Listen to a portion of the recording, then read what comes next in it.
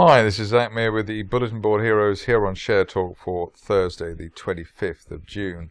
Starting off with AfriTin Mining, and uh, we've had a, a, break or a gap through the uh, resistance line from January around the uh, 2.25 pence level.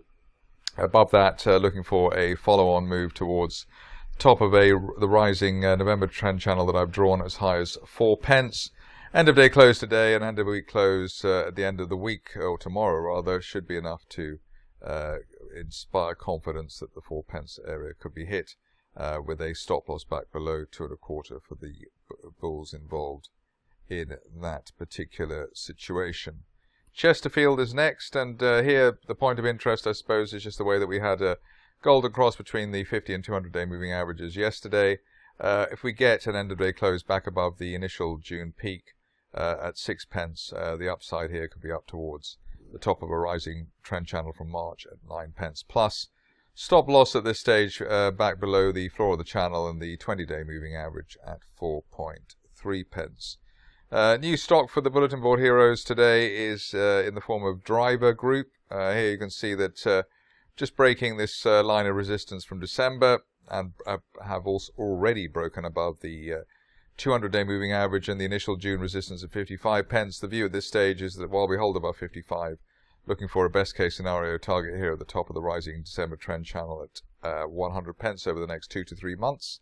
Stop loss back below a combination of the 50-day moving average and the price channel floor from uh, the turn of the year at 50 pence. Stock that probably wouldn't have made the grade normally on a busy day, but has made the grade now is uh, IDE Group. Here we've seen the shares gap through the uh, December resistance line around the 2.7 pence level. Nice uh, sideways flag uh, for the stock, which is normally a very good sign. And uh, as little as an end of day close above the 200 day moving average at 3.4 pence uh, should be enough to inspire confidence that the shares could hit top of a rising trend channel from October towards six and three quarter pence over the next uh, six weeks to two months in terms of the time frame.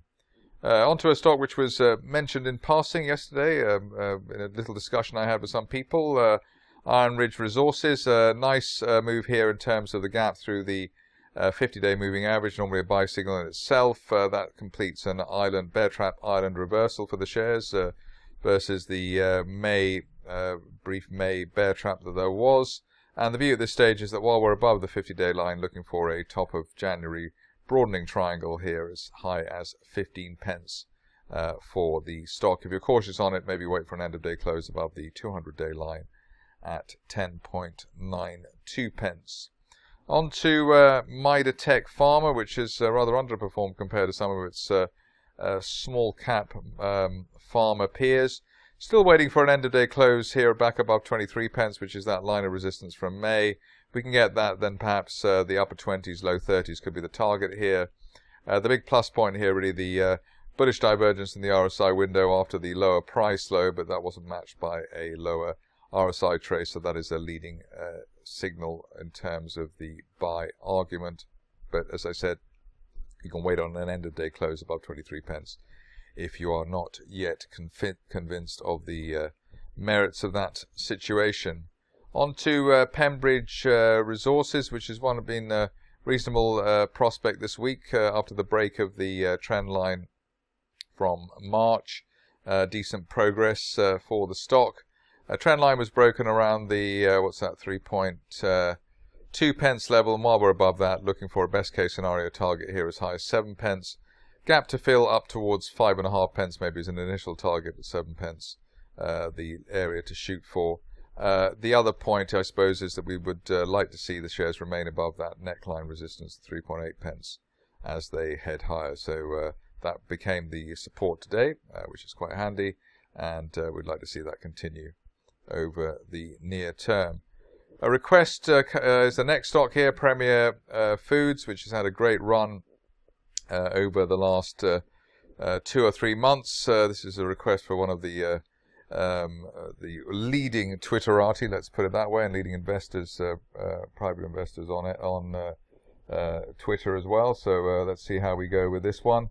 Uh, the top of the rising trend channel from uh, the end of January is heading towards a pound, and at this stage, uh, that target's valid, especially while we hold above uh, the uh, mid 50s. Ideally, the shares don't even go back below uh, yesterday's uh, intraday support towards the 60 pence level, but the uh, floor of the channel there running through 53, 54 pence, and a while above that, looking for up to a pound. Uh, the big plus point, I suppose, going back was uh, the way that uh, the shares gapped through the 200-day moving average, as if it wasn't there in the middle of April and never required even a retest. Plus, the consolidations are sideways to up, which is also a very strong example of price action. Uh, going on to uh, just a couple more. Uh, here we've got a stock that's been featured here recently, but uh, now we're back near the highs, Touchstone Exploration. Uh, good dance of, of over the last week or two at and uh, just below the 20-day moving average at 50 pence. Uh, while we remain above 50 pence, looking for um, a, best case scenario target over the next month uh, or six weeks to the top of a rising August trend channel at 80 pence. Uh, this stage only really back below um, the 45 pence level, really hurting uh, the idea of further gains for this situation.